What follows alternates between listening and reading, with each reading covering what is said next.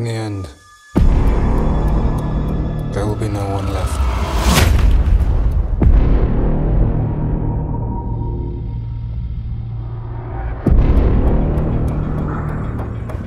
We are no longer innocent. We are lost from this world.